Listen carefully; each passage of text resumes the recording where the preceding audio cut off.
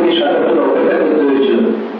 এই পনেরোশো সাতাত্তরে বৈশাখ মাসে তারা ওই বাংলাগঞ্জে বিধি অনুসরণ করে চারটে দাদু এতদিনটা একটা দাদুতে কাটেছিল চারটে দাদু সংগ্রহ করলেন করে পনেরোশো সাতাত্তরে সতেরোই জুলাই প্রথম নবকলেবর আজকে যে নবকলেবর হচ্ছে এই শুরু হচ্ছে পনেরোশো সাতাত্তরে সতেরোই জুলাই। এই রাজা রণচন্দ্রদেব তিনি যেহেতু করবেন একটা নাম হয়েছিল অভিনব ইন্দ্র ইন্দ্রতন্ত্র যেমন ইন্দ্রগুপ্ত প্রাচীন ইন্দ্রগুপ্ত করেছেন ইনিও নতুন করে আবার জগন্নাথের প্রতিষ্ঠা করলেন বলে সেই রামচন্দ্রদেবের নাম ছিল অভিনব ইন্দ্রতন্ত্র তাহলে নবকল্পদ শুরু হল পনেরোশো সাতাত্তর, সতেরোই জুলাই। তারপরে তিনশো বছর আর কোনো রেকর্ড নেই বাংলার পঁচিশে নবকল্পরে তারপরে নবকল্পরে হিসেব পাওয়া যায় আঠারোশো তেষট্টি স্বামীজির জন্মসাল আঠারোশো তেষট্টি ওই আঠারো মানে ঊনবিংশ শতাব্দীর দুর্গা হয়েছিল আঠারোশো তেষট্টি, আঠারোশো নিরানব্বই। তারপরে একেবারে উনিশশো উনিশশো খ্রিস্টাব্দ হলো পাঁচ বার প্রথম উনিশশো খ্রিস্টাব্দ হলো উনিশশো একত্রিশ, তারপরে হলো উনিশশো পঞ্চাশ, তারপরে উনিশশো উনসত্তর তারপরে উনিশশো সাতাত্তর তারপরে উনিশশো ছিয়ানব্বই আমি সেটা দিয়েছিলাম আর এই তারপরে দু হাজার সালে দু হাজার পনেরো, উনিশ বছর পরে। আমি গত শতাব্দীর উনিশশো ছিয়ানব্বই নবকাল আমি ছিলাম, সেখানে দেখেছি, এই নবকালের ধারাবাহিক ইতিহাস এখন নবকালের জিনিসটা কি হয়? সময় বেশি নেই।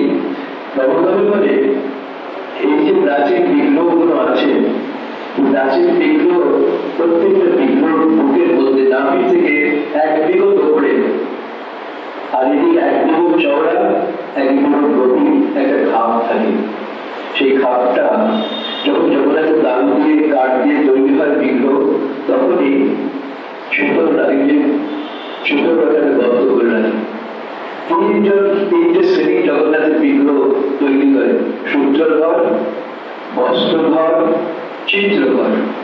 এদের সব জমি দিয়ে রাখাটা বংশানুক্রমিত করে আসছে।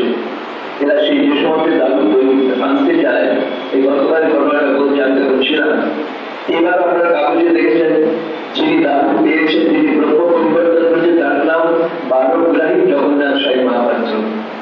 গতবার গুরু বলেছেন আমার সাথে তার পার্সোনাল ব্যাপার করেছিল যোগী বাবু, জগন্নাথ সাই মহাপাত্র। আমি গতবারের ঘটনাটা বলি। কেমন করে হয় হয় যে মাসে যে বছরে আষাঢ় মাসে দুটো অমাবস্যা বলে তাকে বলে মল মাস সেই আষাঢ় মাসের আগে যে মাস মাসে বাসন্তী পুজো হয়। বিজয়া দিনেতে উড়িষ্যার রাজা তিনি একটা ডিক্লারেশন দেন। একটা নির্দেশনামা দেন তিনি প্রধান পাঠান। দৈতাপতিদের প্রধানকে ডেকে পাঠান রাজগুরুকে ডেকে পাঠিয়ে একটা নির্দেশনামা দেন যে সামনের বছর নববালিকা হবে আপনারা যথাবিধি দিনক্ষণ স্থির করে যাত্রা শুরু করুন রাজা শিলমন দিয়ে এই গুরুগুলিদের হাতে সেইটা দেয় আর তিনটে ছোট ছোট দুটো ছোট ছোট গুরুন একটা ছোট সোনার গুরুন একটা ছোট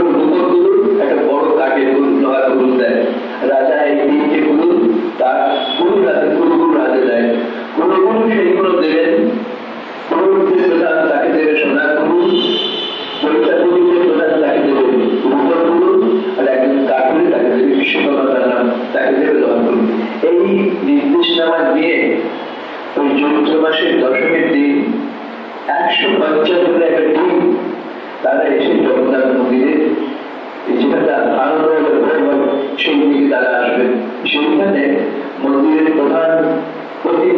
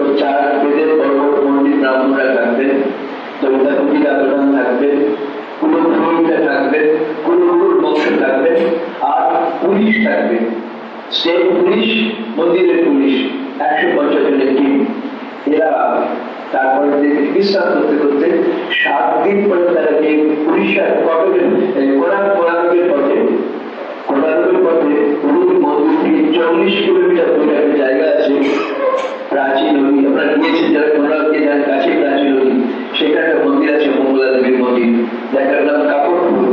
সেই মঙ্গলা দেবীর মন্দিরে গিয়ে একশো পঞ্চাশ জনের টিমটাকে হাজির হবে মঙ্গলা দেবীকে তার সেই ফুল দিয়ে সাজাবে খুব মঙ্গলা দেবীর মন্দিরেতে কাছে একটা এই ছোটখাটো করা হবে শপথ পল্লী যারা দরিদ্রাপতি তারা থাকবে মন্দিরের বাইরে।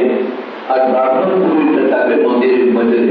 সেই দিন মা সর্বমঙ্গলা, মঙ্গলা বিশেষ পুজো হবে। মা গলাতে মালা পুরি কঠোর ফুল পুজো দেওয়া হবে।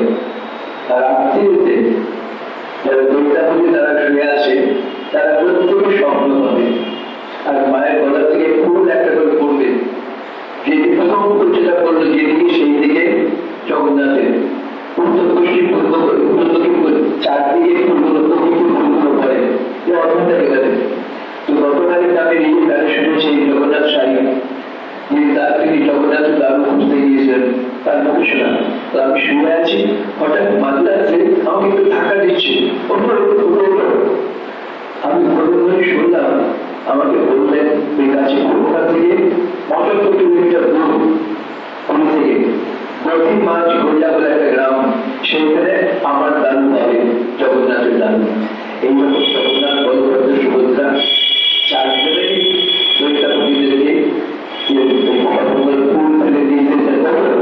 যাও। এই একশো পঞ্চাশ জনের টিম ভাগ হয়ে আটত্রিশ জন করে, আটত্রিশ সাঁত্রিশ জন করে।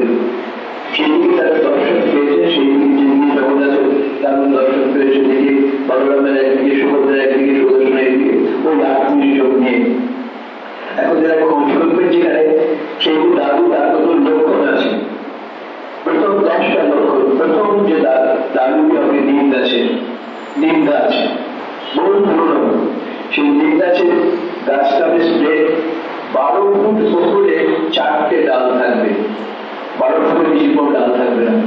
সেই গাছে কোনো পাখির বাসা থাকবে না। গাছে কোনো পর্দাসা থাকবে না। গাছের গুড়িতে উইটুকি থাকবে। তার গর্তে সাপ থাকবে। গাছের নদী থাকতে হবে, শ্মশান থাকতে হবে, শিব মন্দির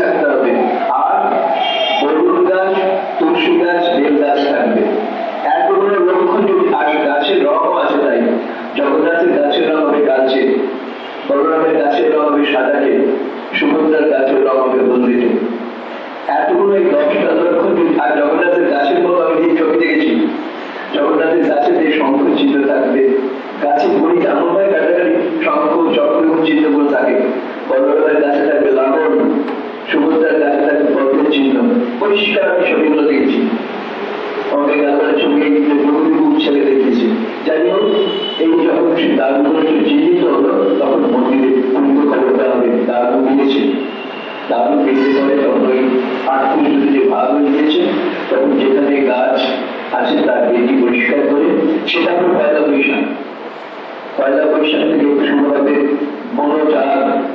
তিন দিন ধরে ব্রাহ্মণরা চার বেদের ব্রাহ্মণরা সেখানে যোগ্য করবেন আর মন্ত্র হচ্ছে নৃসিংহ মন্ত্র জগন্নাথ দেবের পিল্লারই দ্বিতীয় হচ্ছে সেখানে চারজন ব্রাহ্মণ তারা যোগী মনিটার করবে, আর এই প্রতি সব একশো আট বার করে রোজ নৃসিংহ জপ করবে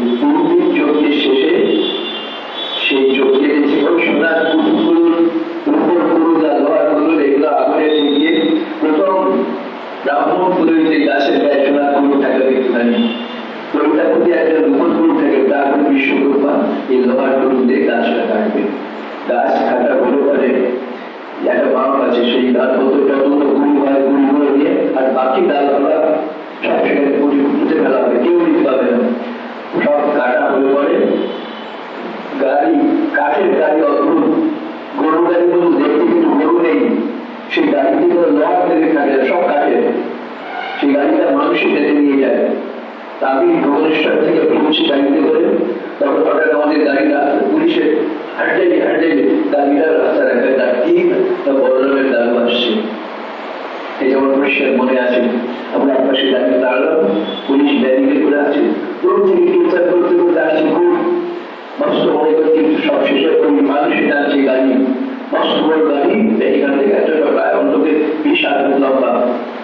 তার মধ্যে সিল্কে কাপড় দিয়ে থাকা বড় বড় দুটো গুঁড়ি মস্ত গুঁড়ি একদম মালা টালা দেওয়া কীর্তন করতে করতে দিয়ে যাচ্ছে। এই গুঁড়িগুলো চারটে দাদু পাওয়া যাওয়ার পরে সেই গুঁড়িগুলো নিয়ে এসে স্নানযাত্রার আগে পয়লা বৈশাখ থেকে শুরু হয়েছে কিন্তু। স্নানযাত্রার আগে জ্যৈষ্ঠ পূর্ণিমার দশ দিন আগে এই গুঁড়িগুলোকে পৌঁছতে হবে। গুঁড়িগুলো পৌঁছতে পারে যারা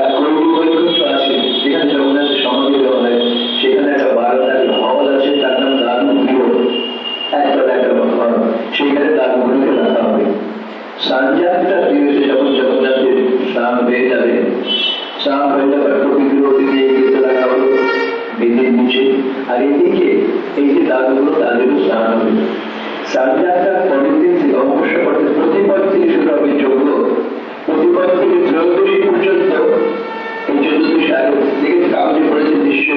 ত্রয়োদশী পর্যন্ত ওখানে যোগ্য হবে। আর একশো এক ব্রাহ্মণ দিয়ে ঋষিকের মধ্যে জপ করবে।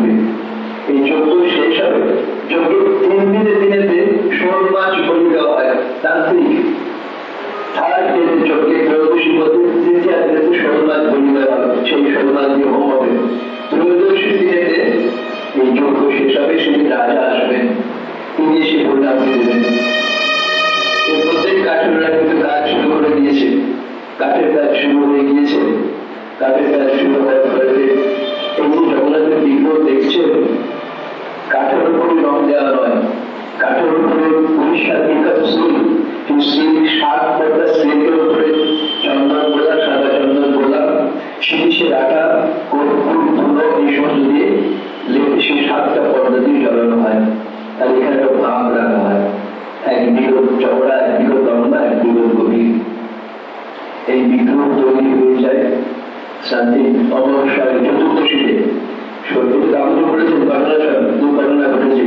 চতুর্দশীর দিন এই তখন কিন্তু আসে এইরকম। বেরিয়ে কিছু ঘটানো আছে। নতুন বিগ্রহগুলোকে চতুর্দশীর মধ্যরাত্রে ওই যে ব্রহ্মদাগুলো কাঠগুলো ব্রহ্মার টাকা গাড়িতে করে এসেছিল, সেই নতুন সেই গাড়িতে করে প্রত্যেক দাগ দিয়ে বিগ্রহগুলোকে ভেতরে নিয়ে আসা হয়। মধ্যরাত্রে চতুর্দশী। সেদিন ওই বৈমন্ত্রীর কোনো লাইট চলবে না।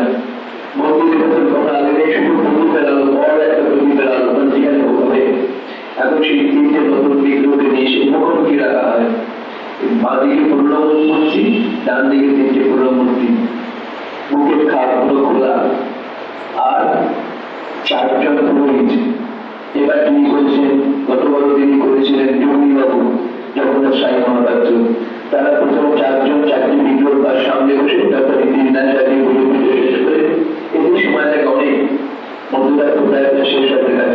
এবার পুজো পালন বিশ্বনাথ মহাপাত্র পুজো শেষ হয়ে আমরা ঢুকবো তাকে করতে যাওয়া সেই অনেক কিন্তু বিভিন্ন কোনো অনুষ্ঠানের ত্রুটি হয়নি। যাই হোক, যখন পুজো শেষ হয়ে যায়, তখন পান্ডারা নিজেদের হাতে সিল্কের কাপড় একে পরস্পরকে বেঁধে দেয়। চোখে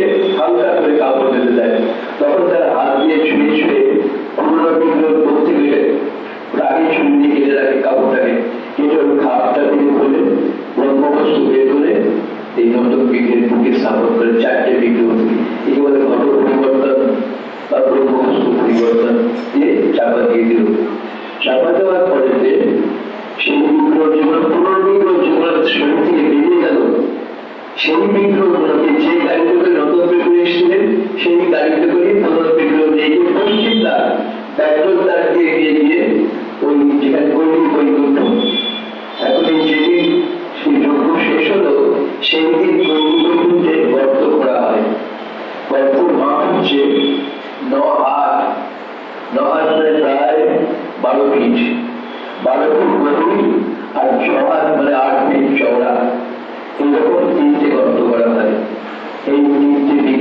নিয়ে এসে এখানে ঢুকিয়ে দেওয়া এই যারা ঢোকায় নামটা কবিরা তারা বলে আমরা জগন্নাথের বংশধর তখন চিৎকার করে না যখন জগন্নাথের শরীর সমাধিস্থ